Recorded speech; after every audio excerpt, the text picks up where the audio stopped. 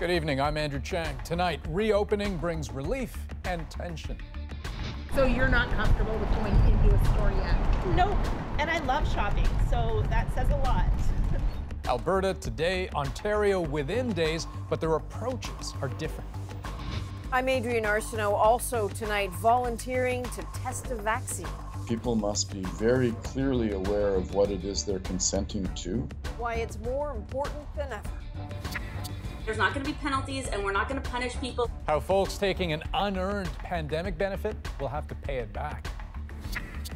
And sidelined businesses that serve recreational sports. Zoom lessons is good for the spirit and soul, but it doesn't really pay the rent. Just waiting for the games to begin again. This is The National. Reopening the economy anywhere in Canada right now means taking on a tricky balancing act. On one hand, the need to relieve very real financial pain. On the other, that life or death risk of a spike in infection. Today, major steps by three provinces trying to get it right. Quebec has scrapped its plan to reopen Montreal schools at all this academic year.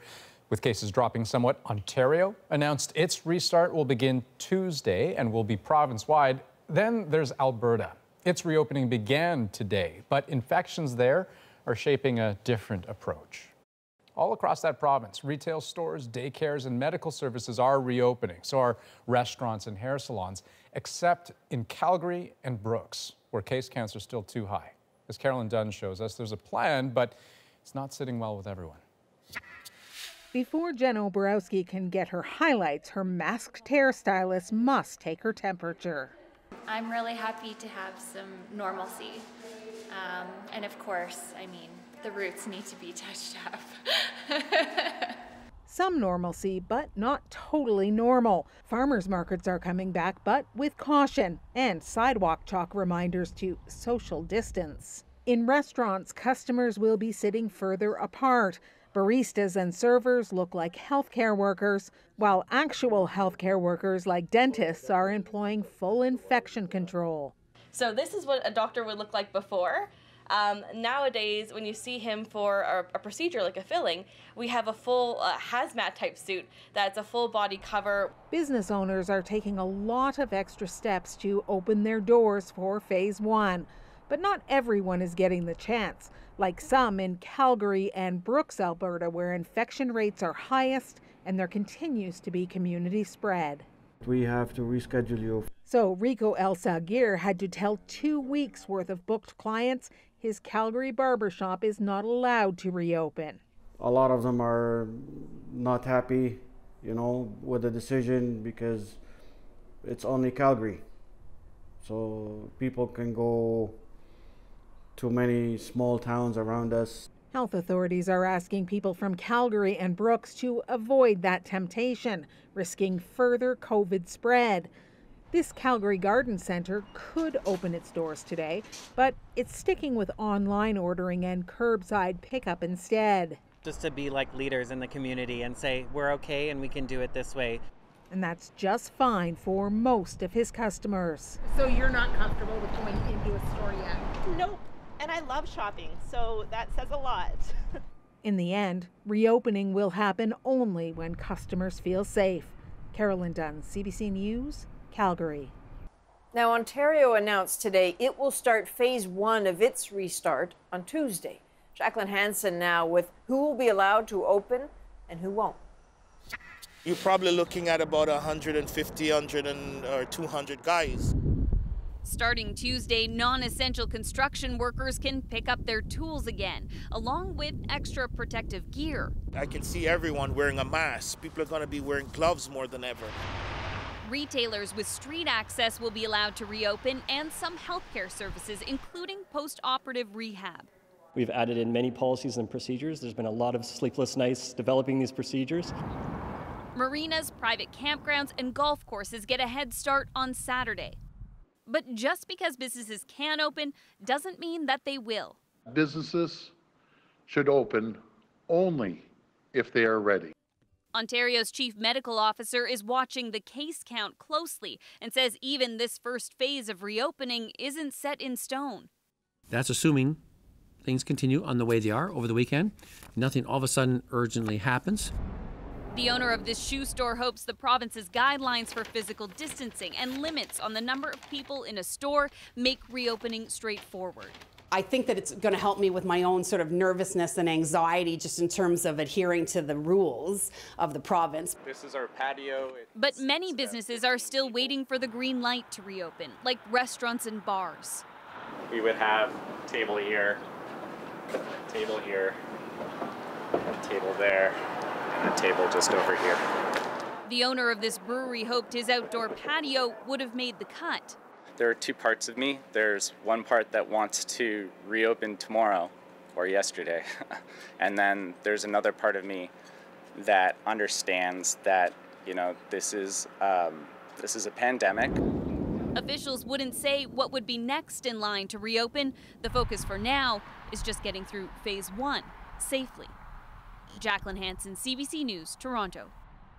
Now, any other year, lots of Canadians would be racing to get out of their cities right now ahead of the long weekend. But the pandemic has sparked fear in the communities we so often travel to.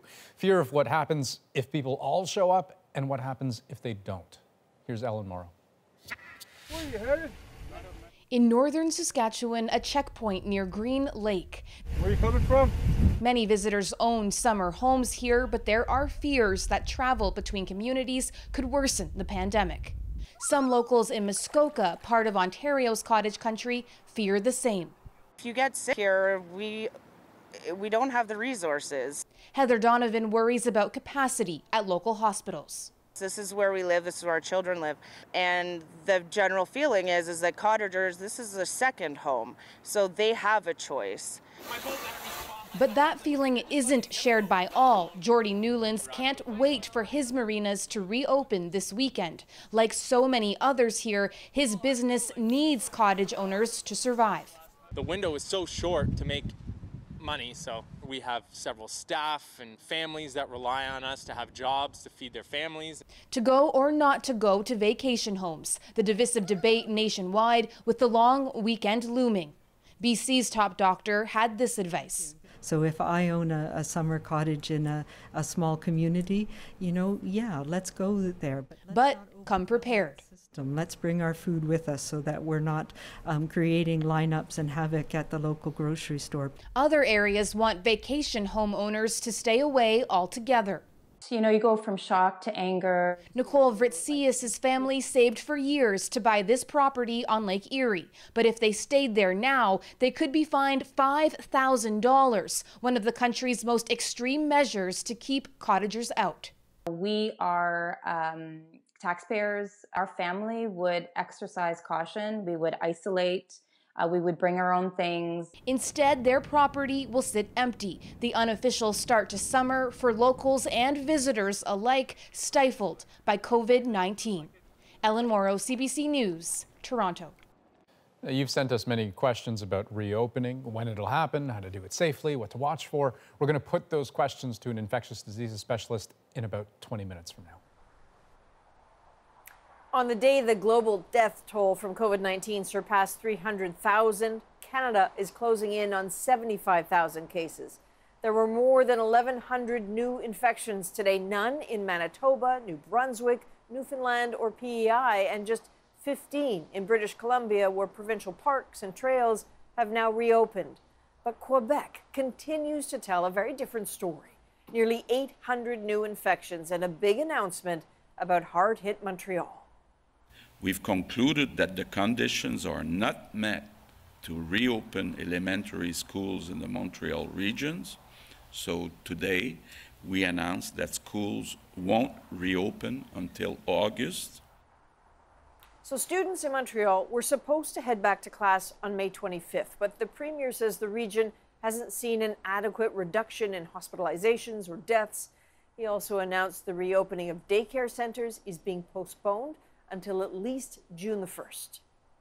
In northern Saskatchewan, restrictions meant to keep COVID out could be exacerbating another ongoing crisis. Last week, a teenager on Waterhen Lake First Nation took her own life. As Bonnie Allen explains, there are growing fears about the effects of social isolation. This is Taequasia Ernest. age 14, doing the Red River Jig. At first, shy, but then unable to hide her smile, her laugh, and her love of traditional dance. Her family is still in shock. 14 year old Taquasia Ernest Fiddler took her own life last week. Everybody's taking it really hard. Like, like we're just trying to take it day by day. The family says the teenager's mental health seemed to deteriorate after the pandemic forced the school to close in March. Not being able to socialize, like being around her friends. Band counselor Dustin Ross Fiddler says the community lockdown and isolation put people in distress. It has to be asked uh, what is more dangerous at the moment? Um, is, it, is it the coronavirus or is it, gonna, is it this mental health deterioration that's been going, going on now? Fiddler says he's aware of six suicide attempts by teens and adults in recent weeks. Suicide is already the leading cause of death for people ages 10 to 49 in northern Saskatchewan. Usually, when there is a rash of suicides, the community will gather. Mental health workers will do home visits, and schools will provide counseling. She's my princess. Sally Rat lives in a different northern community. She's hyper vigilant. She lost her 12 year old daughter Ariana to suicide four years ago. I'm really concerned about my nine year old right now because he's really um, scared and he's gotten really depressed. The province released a suicide prevention strategy last week, but it doesn't address the pandemic.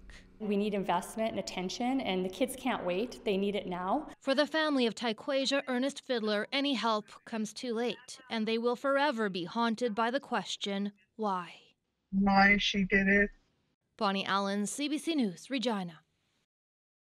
If you or someone you know is struggling with thoughts of suicide, Kids Help Phone has a 24 7 hotline you can call or text. Adults can get in touch with Crisis Services Canada. The numbers are on your screen. CBC News has learned how the government's going to clamp down on fraudulent use of the Canada Emergency Response Benefit. Well over 7 million people have now applied for those $2,000 checks. But as Catherine Cullen shows us, some who have received them just don't qualify. They may not be the intended targets of the Canada Emergency Response Benefit, but some unemployed and homeless here are getting it.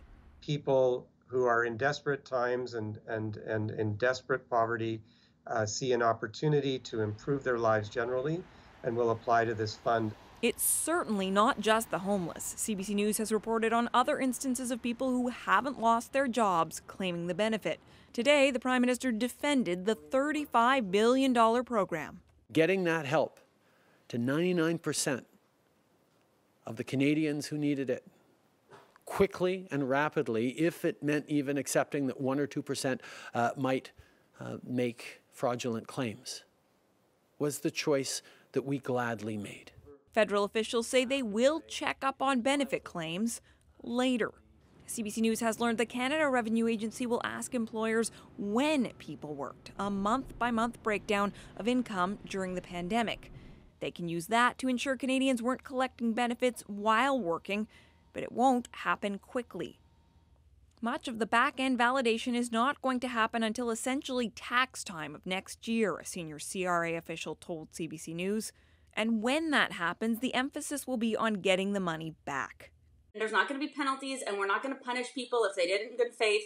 But future clawbacks or reductions of provincial benefits represent a real danger to those struggling to get by, warns Rick Lees. We just don't want to find ourselves a year from now trying to advocate for someone to get back uh, some assistance program that's essential to them living uh, because they obtained CERB today. Federal officials say they are still doing some basic checks on the benefits, like ensuring the application isn't for someone deceased. But CRA employees have been told that their job right now is to help people in difficult times. Catherine Cullen, CBC News, Ottawa. While so many businesses have shut down, Canada Post has been incredibly busy, and that makes it a workplace where the pandemic reveals its double edge. Because while employees deal with Christmas season like volumes, illness or fear of it has brought staff shortages. Natalie Kalata explains. It's definitely different. Jaden Bruzizi isn't usually this busy in May. the level of parcels is way, way up. With millions staying home across the country, employees have more to sort, carry, and deliver. There's a lot of uh, household items, cooking items, um, a lot of crafts for the kids. It's been a struggle to keep up with demand. It's like trying to push back a wave with just your one hand. We've agreed to protect this sorting facility worker's identity because he's afraid of being disciplined for speaking out. The head office has has told the public, you know, we're, we have Christmas volumes, we're doing the best we can, but what they haven't said was we've lost almost half of our staff. His pictures from inside the facility show mountains of packages waiting to be sorted and sent, some to remote communities, some containing necessities. I'll dig out what I know is like disinfectants. I'll see medical supplies. Like I, it actually says on the side, you know, like um, dust masks. The union representing postal workers confirms the staff shortage at the facility, but says safety trumps productivity. The highest number of our members are off on high risk leave, uh, conditions that uh, compromise your immune system. Uh, those members are uh, are being asked not to come in. Nearly 50 of its members have contracted coronavirus across Canada. In a statement to CBC News, Canada Post asked Canadians to be patient, that customers should expect delays because our plants were never designed to keep people two meters apart, meaning it's taking longer to process items. And it's a situation that's not likely to lighten anytime soon. Natalie Kalata, CBC News, Toronto. Now, here's some of the other stories we're watching across Canada tonight. A number of major retailers are changing their mask policies. Whole Foods says it's requesting customers at all its North American stores to wear a face covering when shopping. Loblaws run T&T Supermarket says shoppers will be required to wear masks, and if you show up without one, you can get one for a dollar. As of the beginning of June, some national parks will be partially reopening so that people in the area can use trails and green spaces where physical distancing is possible. So there you go. The Prime Minister announcing some national parks are preparing to reopen, though not before the long weekend. And camping won't be allowed until at least mid June. The plan involves 38 parks and 171 historic sites. Ottawa says it'll be working with provinces on a rollout plan. I'd like to let you all know that this, this morning, Public Health has announced that our outbreak is now over. Good news. Staff at one of Ontario's hardest hit nursing homes gave thanks today after that major outbreak was declared over. The Pinecrest Nursing Home had 28 residents die within three weeks, with more than 30 staff members also testing positive for the virus. Now, the home says its residents have been without symptoms for 14 days. Now, a true return to normal, if that even exists anymore, will almost certainly involve a vaccine. And researchers around the world are racing to find one. But is there potentially a faster way? Could be, but it's controversial. And as you'll hear from health reporter Christine Birak, it involves intentionally infecting people with the virus. Not many people would volunteer to be deliberately infected with the coronavirus. But Connor Barnes has signed up and he's not expecting to get paid for it. I value people. I hate the idea of millions or billions of people suffering. And I, to me, this seems like an effective way to uh, impact that. More than 20,000 people around the world have enrolled as volunteers for controlled human infection or challenge studies challenge studies are incredibly promising and powerful tools that can teach us a lot about infections that we don't already know. Typically, participants in clinical trials are given a possible vaccine or a placebo. Researchers then wait and see if anyone happens to come in contact with the virus. Many won't, so it takes years and thousands of participants to measure the safety and effectiveness of a vaccine. In a challenge study, a smaller number of carefully selected volunteers can intentionally be infected and offer faster results. But it requires coming up with the right dose to give to people so that they do get infected, but that they don't get too sick. The approvals alone can take over six months, and it's an ethical dilemma. Controlled infections have helped find vaccines for illnesses like typhoid and cholera, but in the past, they've also killed vulnerable people and exposed others to harms without informed consent. While no challenge studies have been approved for COVID 19, the World Health Organization isn't ruling them out. People must be very clearly aware of what it is they're consenting to, and uh, the consent processes for human challenge studies should be exceptionally stringent. The most concerning part for me is uh, the fact that we don't know about long term effects. Barnes still has reservations about being infected, but says if asked, he'll do what he thinks is right. Christine Birak, CBC News, Toronto.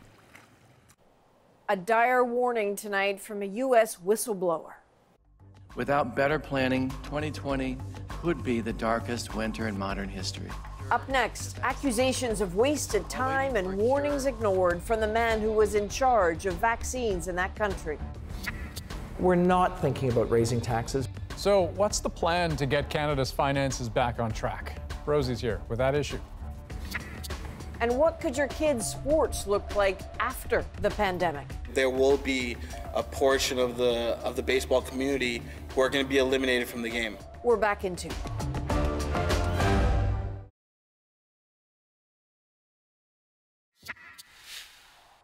Quite the warning issued to U.S. lawmakers today. It came in testimony from the man who had been in charge of developing and acquiring vaccines. But Rick Bright was removed from the job, he says, after his early warnings about the coronavirus were met with indifference and ineptitude. Katie Simpson now on what he had to say today. Dr. Rick Bright says from the start he recognized the urgent threat posed by COVID 19, warning lawmakers immediate action is still necessary. Without better planning, 2020 could be the darkest winter in modern history. Time is running out because the virus is still spreading everywhere. And uh, Bright used his testimony not only to call on the government to ramp up testing and stockpile supplies, but offered a scathing assessment of the early handling of the outbreak. I believe Americans need to be told the truth. We did not educate them on social distancing and, and, and, wearing a mask as we should have in January and February. All of those forewarnings could have had an impact on further slowing this outbreak and saving more lives. One of the biggest missteps, he says, his managers ignored his warnings about a medical supply shortage. Lives were endangered, and I believe lives were lost. Bright was removed from his post overseeing vaccine development. He says because he refused to allow the widespread use of an anti malaria drug the president had been promoting. I watched him, and he looks like an angry, disgruntled employee. Donald Trump may be dismissing the testimony, but Bright hopes the public is listening. These past months have taken a toll on the whistleblower with one moment that haunts him. It's when he got an email from a mask producer about the overall lack of equipment. And he said, We're in deep shit. The world is. Mike Bowen wrote that email. He offered his mask making services to the government, but says he too was ignored. I- I'm angry because I've done this for so, so long and I've been ignored for so long. Bright had one more bleak prediction. A vaccine will be ready in 12 to 18 months only if everything goes perfectly. That's never happened before. Katie Simpson, CBC News, Washington. So, despite the concern, some states are beginning a cautious reopening. The unemployment numbers, however, are still bleak. Nearly 3 million people applied for unemployment benefits in the U.S. last week. That's down from a high of 6.7 million in late March. But compare that to pre pandemic levels of about 215,000 a week. More than 36 million Americans have applied for unemployment since the pandemic began. Now, pandemic or not, the Conservative Party of Canada is still in the throes of a leadership race. And if you want to vote, time is running out. The sale of party membership stops tomorrow at midnight Eastern Time. And Hannah Thibedeau looks at how this coronavirus is shaping what happens next. I need you to buy your conservative membership before May 15th. The push is on. Hi, how are you doing today? The pandemic has forced the leadership teams to abandon traditional campaign tactics. I'd say that right now everything is very much more geared online. Tons of phone calls, like I'm on the phone steady, sun up till sundown, and at, past that. It's not the typical uh, going to church basements and signing up people or going door to door. It's a very different sort of, uh, of campaign, that's for sure. After Friday's deadline for new memberships, candidates will be out to woo undecided party voters without the usual cross country travel. So it's been a lot of virtual campaigning a lot of video conferences, teleconferences, individual phone calls, emails, social media interaction. Because the race is determined by a ranked ballot, being the second or even third choice could be crucial to winning. Polls currently suggest a tight race between Erin O'Toole and Peter MacKay, and their teams are keen to appeal to the other two candidates' socially conservative supporters. You always ask for first choice, and if not, you try to persuade them that they're they'll put you second or third. So it is important that we make everyone feel welcome. CBC News has learned that the ballots will be mailed out in two waves in June. When they announce the new leader, you won't see the traditional convention. Andrew Scheer's successor will be known by August 22nd or within a few days of that. Hannah Thibedeau, CBC News, Ottawa.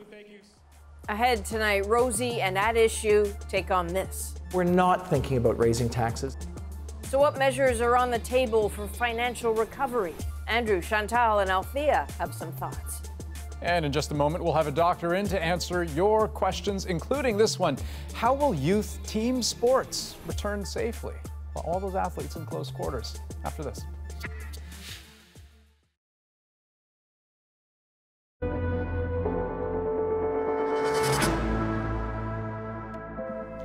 Welcome back. You have kept the COVID 19 questions coming, so we are going to keep trying to answer them. And tonight, it's all about trying to game out the next few weeks as Canada continues to gradually reopen for business. So, joining me tonight, infectious diseases expert Dr. Lynora Saxinger. And Dr. Saxinger, uh, this first question here is all about finding the prudent path forward. How will youth team sports return safely? I mean, hard to physical distance when you're playing basketball, right?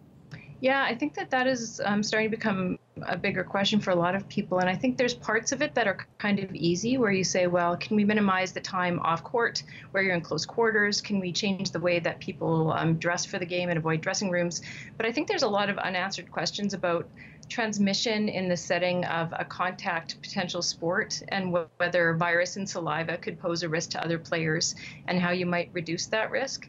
And I guess the other issue around youth and children is that we still, I think, lack information on the amount of infection that um, might be asymptomatic in kids and youth and whether that's contributing to community spread. So, to me, I think any discussion would have to be kind of preliminary until some of those fundamental questions get a bit more science behind them, honestly. Right, and I guess you got to wonder. I mean, would masks, uh, would something like that even help? I think that there's some ways you might imagine this can be made safe and that people can return to these healthy, fun activities. But I am actually hesitant to say that it's for sure safe at the mm. moment because there's just a few too many unknowns, and we're still working on the whole children and youth angle for, for what right. that means in the context of a community right. epidemic. Um, similar sort of question. Is public transit going to be a complete mess? How can you avoid being so tightly packed around other people, I suppose, once things really get going? Yeah, I was looking at some clips from the UK where the subway is such an important part of everyone getting to work. And um, I, I, think that there are definitely some concerns there, and there's some questions around airflow and closed spaces and how much that might increase risk. Um, it's also unknown how much masking might decrease risk. If we had a better idea of that, it would be a little bit easier as well. Right. And, and, and so, one other question here, uh, sort of about the day to day life. How would we have our cleaning lady come do her job safely? Or is that a bad idea?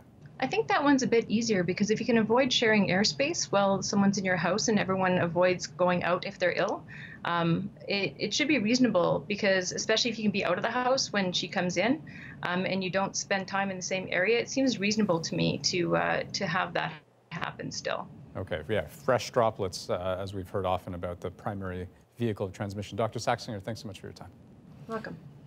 And as we've mentioned, we will be asking your questions about COVID 19 as often as we can. So send those questions in. You can reach us on Instagram at CBC The National or by email at covid at cbc.ca. More than 5,500 Canadians have now died of COVID 19. So many families and friends left grieving, sometimes all alone. CBC News is putting a human face on those wrenching numbers of the dead through a series we're calling Lives Remembered. Tonight, Anthony Bastianon shares his father's story. My name is Anthony Bastianon. My father, Victor Bastianon, passed away from COVID 19 on Easter Sunday 2020. My father was the archetype of a successful immigrant. He grew up in Italy during World War II and his family struggled afterwards. So he came to Canada in the 1950s with only a cardboard suitcase. He was determined to build a successful life for himself and his family. My dad was a workaholic. He worked as hard as he did because providing for his family was what mattered most to him. He taught his three kids the values of humility, honesty, and unconditional love. My dad, a mechanical engineer, didn't really get my career choice as a musician, but he paid for all my schooling without question.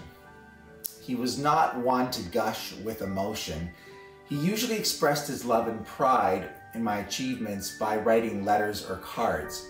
And he'd almost always start with, as a famous Italian once said, I catch myself repeating things my dad said, like his bad jokes, or quoting an Italian, or actually quoting my dad, quoting an Italian. I couldn't be with my dad in his last moments.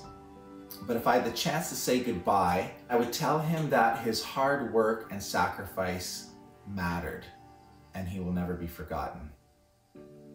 He would have loved to have heard that. CBC News is committed to telling as many of these stories as we can. If you'd like to share your memories of a loved one with us, please send an email to covid at cbc.ca. Still to come tonight, thousands of kids sidelined by COVID 19. A look at the dilemma facing sports leagues and how the games could change when it's finally game one. Next, though, Rosie and at issue. Adrienne, tonight we're looking at how Ottawa will pay for its response to the COVID 19 pandemic, the political cost, and of course, the very challenging decisions ahead. That's next with Chantal, Andrew, and Althia right after this break.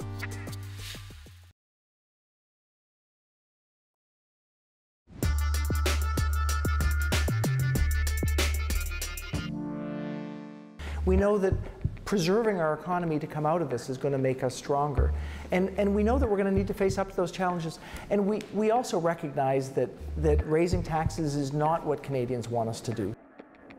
Bill Morneau says it's not uh, for Ottawa to raise taxes to pay for the pandemic and its response to the pandemic, but uh, does say that Canada, as you heard there, will have to face up to some challenges ahead. So, what are the political costs that come with this rising debt? And does the federal government need to be more transparent about its fiscal plan, where we're at now? It's Thursday, and I'm here with At Issue Chantal Hébert, Andrew Coyne, and Althia Raj. Good to see everybody dialing in there. Um, let's start with how a government looks at uh, potentially a trillion dollars in debt, uh, certainly more than 300 uh, billion in, in deficit. What what does that? What kind of political challenges does this sort of pose for a government at this stage, or or are they not really even contemplating that right now? Do you think, Chantal? I, I think we are not there yet, and I don't think the federal government is there yet. I think that's probably proper because we are not out of the woods and there are so many unknown variables that the only thing you can know for sure is it's going to be bad. That being said, politically, it's going to impact on the thinking about when you go to the polls. Uh, do you try to go quickly when we exit this, or if you wait, do you end up having to go when you're starting to inflict pain on taxpayers because that will happen. Because it also dramatically changes anything that they were, well, not anything, but some of the things they were elected to do in the first place, Andrew, because there's no way they can now move forward with some of those big promises as well. Uh, if there's any kind of budget constraint at all, yes. Uh, it's tempting to say right now that they, it's basically infinite. I mean, every couple of weeks we get a new estimate of the deficit that adds about $100 billion to it, which used to be an unheard of sum for the deficit on a, on a whole. So 300 billion at this point is probably an underestimate.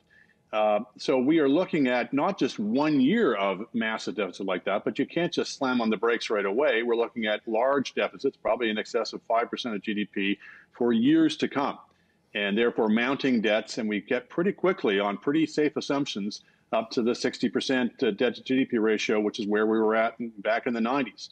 So you know, we'd like to see, I guess, some evidence that the government is at least aware of this, that it has some sense of of how it's going to deal with that. I understand that it's very hard to predict things in the in the short term, but at least some indication of that the government is aware and grasps the the size of this. Well, they don't seem to think right now that these programs, Althia, are uh, in any way contributing to some sort of structural deficit. That this is really just uh, sort of one time or you know just this period of time anyway kind of spending. And once they're out of it, they'll be able to deal with all the things we're talking about.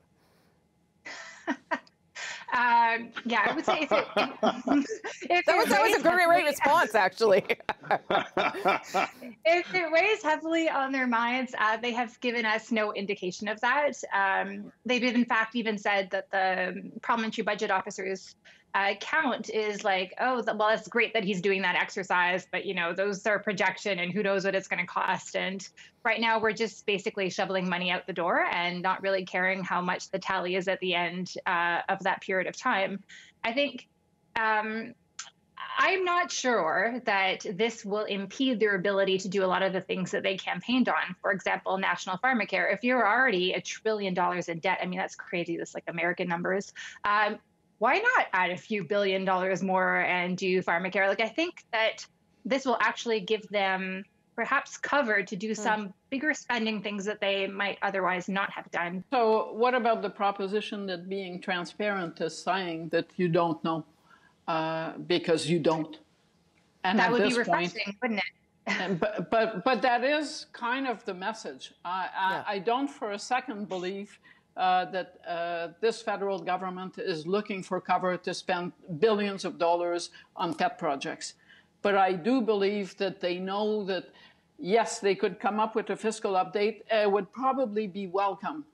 But at some point, there is no way to say we're going to stop giving uh, you people who are out on the street and who we put out on the street and you companies that we stopped, we're going to stop this and set a date because that's when we need to set a date. Everyone knows it's not sustainable. Yeah. Yeah. But to have Good. this conversation now and to judge the government's lack of concern on the basis of today is premature. Okay, Andrew, yeah. Just very quickly, the, the, the, notion that this is just a one and done, we'll run one big deficit and then we'll get back to normal because we'll be able to ramp down spending. First of all, presumes that we will ramp down spending the way we did after World War II, for example. And I think that's really very much in doubt. But secondly, it ignores the fact that we haven't just ramped up spending, we've had a big, big hit on revenues. So even if we could, and even if we were a mind to, to cut spending all the way back, we still have this huge revenue hole uh, from, the, from the fall off in revenues, and that cannot be made up that easily. No, especially if you've got businesses shuttering, which is what the governor of the Bank of Canada said today is, is going to start happening at some point here. It also presumes that, that, that this federal government would be uncomfortable with a large debt load. There's, they certainly haven't been uncomfortable with a deficit. So I, I, maybe they maybe they just won't even bother to tackle it. Uh, is that is that a realistic thing to contemplate too, Althia? Uh, no, I don't think so. I think there will be pressure to show that there is some sort of fiscal responsibility uh, that still exists within the Liberal Party.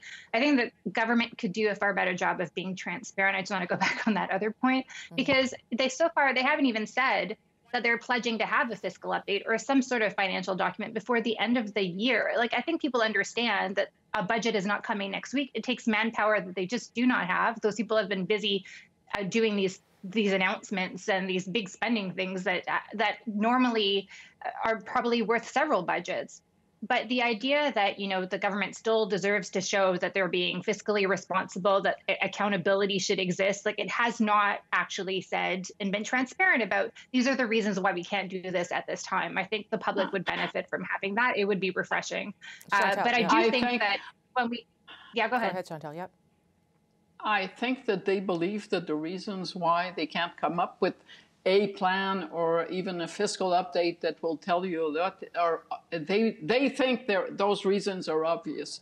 Maybe they're not, But that is what they think. I don't think they're hiding something. And I'm willing to wager two things. We will see a fiscal update or something before the end of the year. And the GST will go up before I am finished paying taxes on uh, goods and services. Well, there you go. Bill Morneau said he wasn't going to do it, but there you go. That's not today. He's not doing it. Not today, but he will do it. All right. Yeah, okay. I didn't hear him say. I didn't hear him say no. I heard him wasn't say never. We're not Yeah, right yeah. now. He didn't That's say fair. never. Okay, that's fair. All right. Thank you, everybody. Before we go, be sure to subscribe to At Issue, the podcast for extra content. This week, we are going to talk a little bit about the CERB, those fraud concerns, and whether the government has handled that in the right way. Look for it on any major podcast app, our website, cbcnews.ca slash the national. For now, though, back to Adrienne and Andrew in Toronto.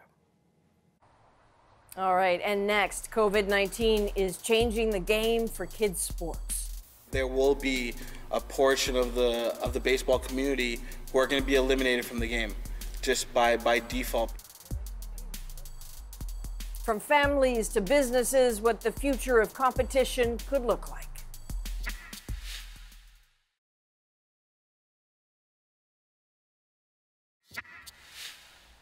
Welcome back. Normally, at this time of year, parks would be alive with the sound of competition, hundreds of thousands of kids playing sports.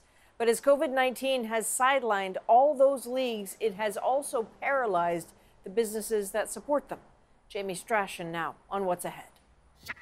So with the the thousand kids that were coming through a week, we're now down to zero. It's eerily quiet at this massive baseball training facility in Toronto, and owner Raf Chowdhury has plenty of time to talk to a reporter. You know, for coaches and stuff like that. Usually at this time of year, the building is alive with the sound of bats and balls. But Canada's billion dollar world of kids' sports is stuck in time, waiting to be told when it's safe to play again. You know, Zoom lessons is good for the spirit and soul, but like you said, it doesn't it doesn't really pay the rent. So it, you know, getting back up and running um, is going to be you know critical to us in the next you know two months.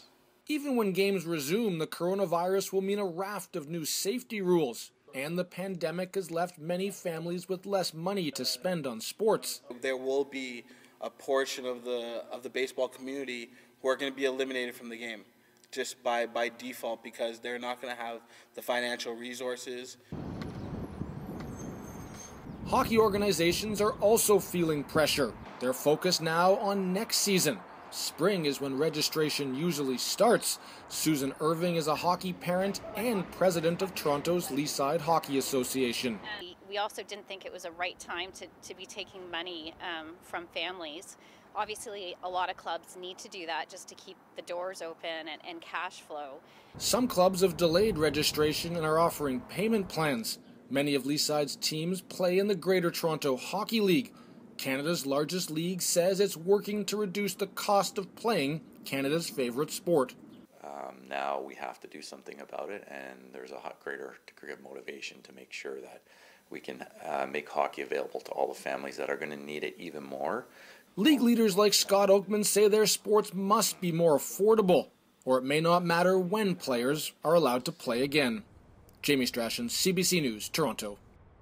And next on the National, in a time when many graduates won't receive a typical graduation, one Quebec school set out to honor their grads in a different way. Our moment is next.